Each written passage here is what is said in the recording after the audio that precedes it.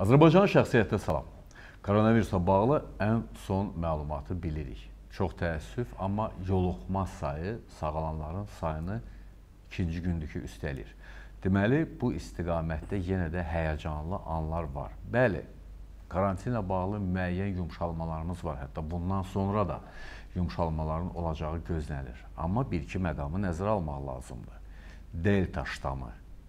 Kimi üçünsə bu ifadə birinci dəfə səslənə bilər. Kimsə artıq bu barədə məlumatlıdır. Amma hər bir halda delta ştamının da Azərbaycana gəlişi istisna olunmur. Səbəb çox sadədir. Biz də dünyanın tərkib hissəsiyik və dünyada delta ştamı varsa, elə koronavirusun olduğu kimi. Koronavirus Azərbaycana gəlmişsə, deməli delta ştamının da Azərbaycana gəlişi real təhlükədir. İkinci bir tərəfdən məsuliyyət. Məhz məsuliyyət bizi bu istiqamətə nə dərəcədə qoruya bilər və maskaları üzdən çıxardandan sonra nə dərəcədə məsuliyyətliyik. Bax, bu məqamlar ətrafında danışmaq niyyətimiz var. Real intervyuda Təbib İdarə Heyəti yanında Tibbi Elmi Komitənin sədri Akif Qurbanov qonağımızdır. Akif müəllim, hər vaxtınız xeyir, xoş gəlmisiniz. Hər vaxtınız xeyir, sağ olun, təşəkkür edirəm. Və dərhalda delta ştamı ilə bağlı sizə sual vermək istəyirəm. Məhz delta ştamı artıq bir neçə həftədir ki, hər halda dünya mətbuatında daim səslənir, Azərbaycan mətbuatında da bu barədə oxuyuruq. Ümumiyyətlə delta ştamını necə xarakterizə eləmək olar? İlqar müəllim, biz e, sizinlə əvvəlki müsahibələrimizdə də bu barədə qeyd eləmişdik ki, COVID virusu, COVID-in törədici virusu mutasiya meyilli viruslardır Hı -hı. və biz onu keçən ildən etibarən artıq gördük.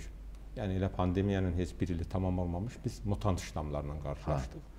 İlk dəfə e, yadınızdadırsa Britaniya ştamından danışırdıq. Hı -hı. Bundan sonra Cənubi Afrika, Braziliya və s. və s. ştamlar və e, daha sonra isə Hindistanda da bir hə. mutant ştam meydana çıxdı. Artıq e, məlum oldu ki, bu mutant ştamların hamısını bir e, təsnif eləmək lazımdır. Elə etmək Hı. lazımdır ki, asanlıqla başa düşülsün. Ona görə də bu mutantların hamısını Yunan hərfləri ilə işarələməyə başladılar. Ona görə biz delta son zamanlar eşitdik. Alfa, yəni alfa, beta, beta, gamma, delta, hə. gələcəkdə isə olsa lambda, əgər olsa. Hı -hı. Beləliklə delta ştam Hindistanda e, deməli ilk dəfə aşkar edilmiş bir mutant ştamdır. Bu barədə artıq Hindistan ştamı deyərdilər əvvəllər. İndi bu barədə biz indi lap son zamanlar isə delta plus ştamından danışırıq. Hə. Nədir bu? COVID-19 mutasiyalarının əksəriyyətində adlarını çəkdiyimiz e, mutant mutantların əksəriyyətində, mutasiyanın əksəriyyətində mutant ştamların bir əsas xüsusiyyəti var. Hı -hı. Yoluxma qabiliyyətinin artması. Biz bunu sizlə müzakirə etmişik, danışmışıq. Yəni mutant ştamların indiyə qədər məlum olan mutant ştamlar bir mənalı olaraq yoluxma qabiliyyəti artıb. Hətta Ancaq delta birinci o virusdan fərqli bəli, olaraq bəli, daha geniş. İndi indi ilk virusdan o Wuhan ştamı deyək də ona. Hə, hə.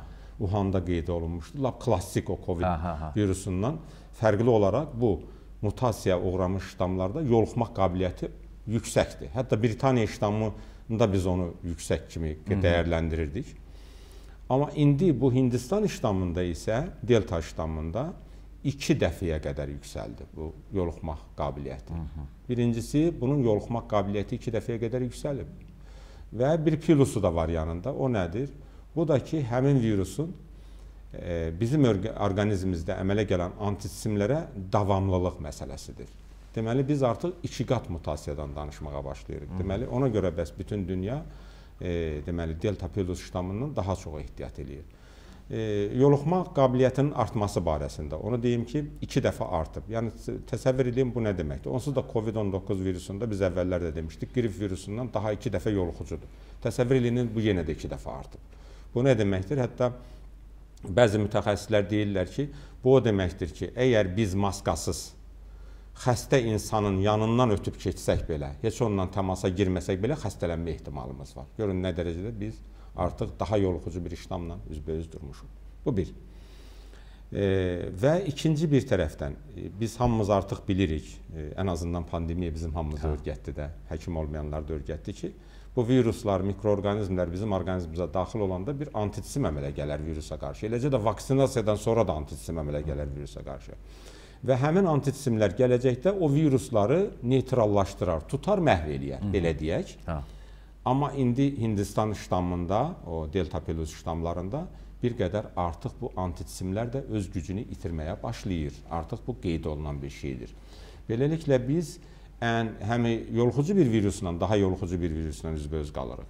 Həm də bizim əvvəl xəstəlik keçi əvvəlki xəstəlik keçirmə nəticəsində və yaxud da vaksinasiya nəticəsində bizim orqanizmimizdə əmələ gəlmiş anticismlər effektini azaltmağa başlayır. Əlbəttə ki, indi bu e, hələ də sevindirici haldır ki, bu elmi məlumatlardır ki, bizim Azərbaycanda istifadə olunan vaksinlər, o cümlədən bütün dünyada istifadə olunan vaksinlər hələ ki e, nəinki o klassik viruslardan bizi qoruyur, həm də bütün o mutant ştamlardan da hələ ki qoruya bilir. Gələcəkdə nə baş verəcək, onu zaman göstərəcəkdir. Amma hal-hazırda biz e, nə deyirik? Hansı ştamın olmasından asılı olmayaraq necə bir mutant ştam gəlib, necə bir xüsusiyyətini dəyişib, bizim bu vaksinlər daha daha doğrusu öz effektini hələ də itirməyib. Onlar da e, bu mutant ştamlara qarşı kifayət qədər effektlidir. Ona görə də fürsətdən istifadə edib yəqin bir neçə dəfə müraciət edəcəyik ki, vaksinasiya olunmaq bir mənalı, qəti bir işdir. Yəni hamı vaksinasiya olunmaq haqqında fikirləşməlidir bir nəfər kimi. Aşmam, dediniz ki, bu delta ştamı ilkin Wuhan e, virusundan fərqli olaraq daha çox 2 dəfə, 4 dəfə, 6 dəfə getdikcə mən belə başa düşdüm ki, vur 2-yə doğru gedir. Yoluxma, yoluxma. O vur 2 deyə bilmərik, amma bu hal-hazırda delta ştamları hə. deyirik. Onlar delta mutant ştamlar, onlar da 2 dəfə artıb. 2 dəfə artıb. Yəni 2 dəfə artırsa və ə, e, deməli onun yoluxuculuq qabiliyyəti daha yüksəkdirsə, bu özünü xəstəliyin ağır keçirməsində də bir ruzə verir, yoxsa yalnız və yalnız yoluxuculuqda? Çünki mən bir qayda olaraq dediyiniz kimi o vaksinasiya məsələsi bəlli məsələdir. Yüksək ə, e, Bəli. Şərtlərdən, bəlkə də birinci şərtlərdən elə ən birincisidir. Və ə, e, belə olan halda mən həmin o məsələ, məsələni bir daha dəqiqləşdirmək istəyirəm. Bizim vurdurduğumuz bu vaksinlər delta ştamına qarşı da eyni effektivliyi özündə daşıyır. Yoxsa Deməli, e, aydındır Eqam müəllim. Deməli, məsələ bundadır ki, mən dedim ki, anticismlərə qarşı rezistentdir bu. Hə. Rezistentliyi hə. var bunun. Hı -hı. Amma nə dərəcədə? Yəni belədir hə. məsələ. Ola bilər ki, müəyyən qədər azala bilər. Hı -hı. Əhəmiyyətsiz bir dərəcədə azala bilər, amma effektlidir. O effektliyini saxlayır. Onsuz da biz əvvəllər də demişdik, heç bir vaksin 100% qorumur. Hə.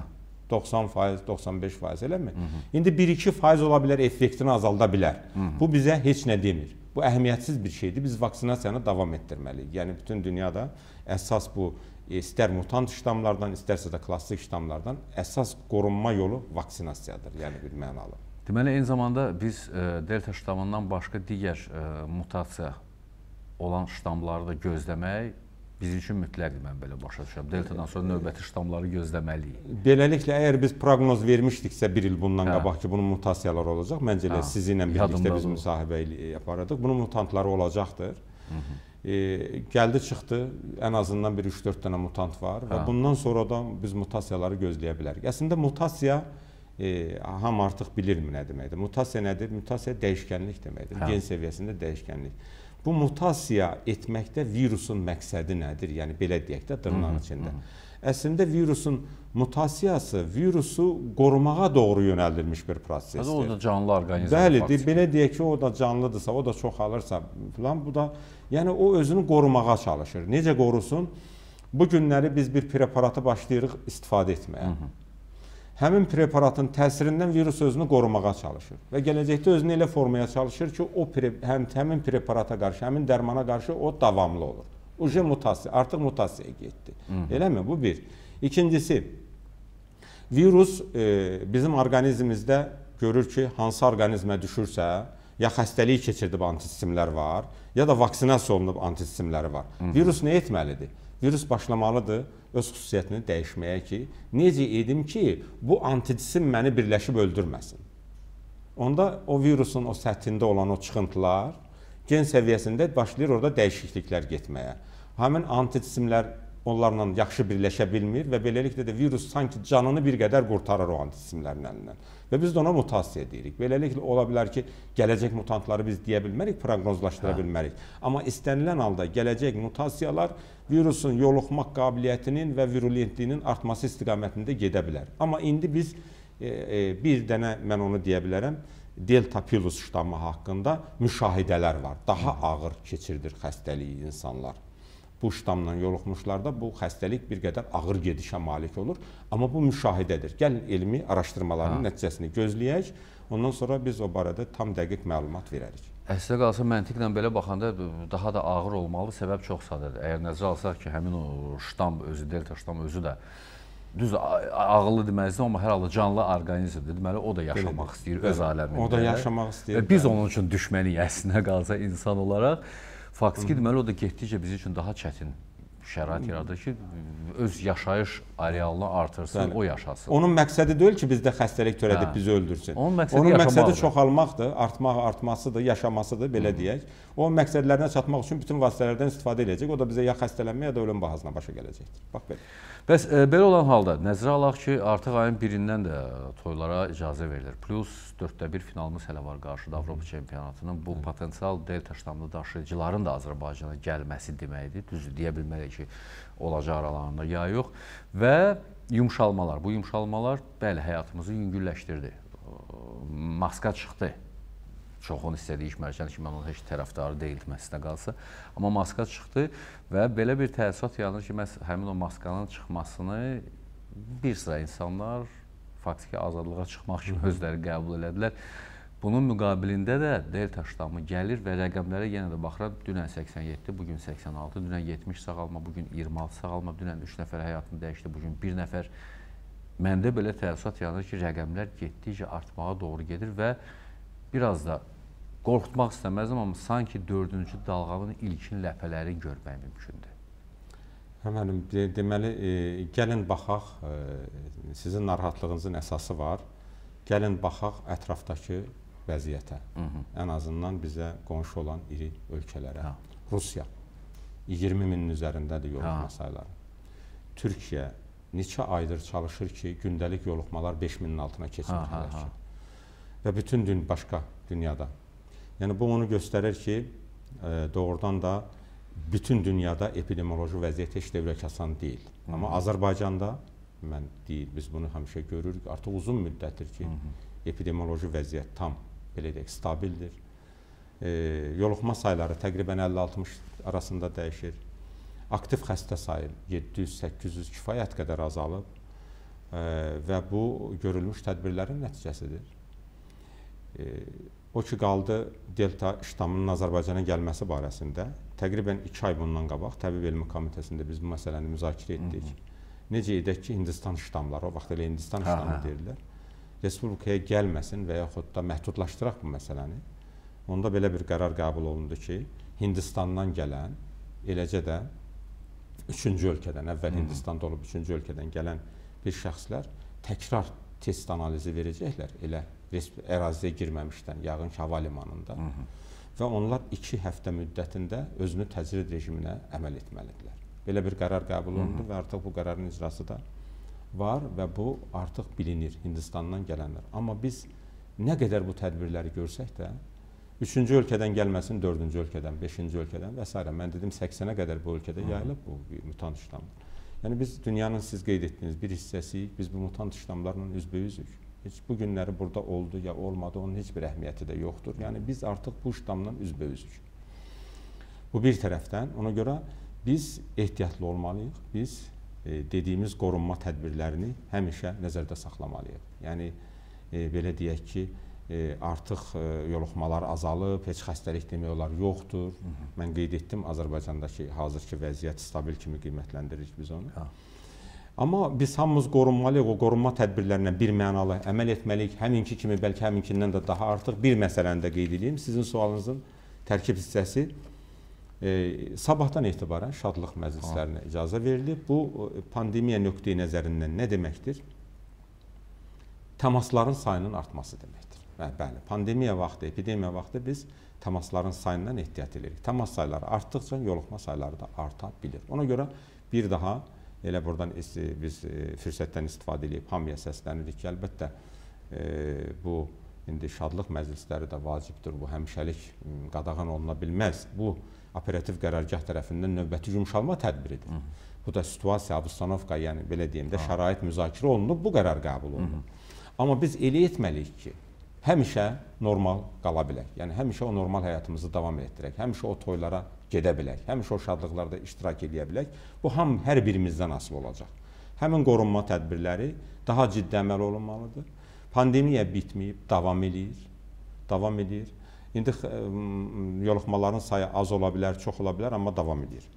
Və sizin daha bir sualınız var idi ki, yoluxma saylarında, yoluxanların sayı ilə sağalanların hə. sayı arasında, bəli, bu bir növ e, belə deyək, əlverişsiz bir məlumatdır, göstəricidir. Nə nöqteyi nəzərdən? Çünki artıq xəstəxanalara yenə də deməli qəbul başlayır, belə hə. deyək də, bunu hə. bu onu deyir. Amma bir məsələni dəqiqləşdirək. Deməli, bu gün yoluxma deyək ki, 80 nəfərdir. Sağalanların sayı 20 nəfərdir. Bu nəyi göstərir? E, 20 nəfər 1-2 həftə bundan qabaq 20 nəfər xəstələnmişdi. Yoluxmaların sayı minimum idi. -hı. Ona görə o yoluxanların 20 nəfər olduğuna görə indi 20 nəfər artıq sağaldı. Amma bu gün yoluxma sayı 80-dir. Amma beləliklə bunların e, bu təbii bir şeydir. Müəyyən müddət sonra bir müddət belə davam eləyə bilər yeri gəlmişkən. Hə. Çünki biz gördük yoluxmalar 30 oldu, 40 oldu, 50 oldu. Hı -hı. Elə 70-80 arasında dayansaq biz görəcəyik. 80 oldu, 70 oldu yoluxma, sağalan oldu 40-50. Bu bir narahatlıq doğurmasın. Yəni bu təbii bir şeydir. Yəni 14 gün bundan qabaq 40-50 yoluxma var idi, indi onlar sağalıblar. Mən minnətdaram sizə Akif müəllim. Çox sağ olun məlumatlara görə. Uğurlar. Hı. Buyurun, sağ olun. Təbib İdarə Heyəti yanında Tibbi Elmi Komitənin sədri Akif Qurbanov real intervyuda qonağımız idi və onun dediklərinin hamısı diqqətlə qulaq asdıq və elə sabahdan etibarən. Bəli, bəlli məsələdir ki, kimlərsə toya dəvət eləyiblər. Problem yoxdur, getmək lazımdır. Amma yaddan çıxarmaq lazım deyil ki, məhz həmin o yumşalmalardan su istifadə eləsək, bəli, payız aylarında yenidən yoluxmanın sayı arta bilər. Bu dəfə yoluxma sayı həmişə olduğu kimi bizim özümüzdən, vətəndaşlardan asılıdır. Konkret olaraq özümüzü qoruyaq. Çünki gələn ştamlardan nəyi gözləmək mümkündür, deyə bilmərəm. Salamat qalın. Əsas odur.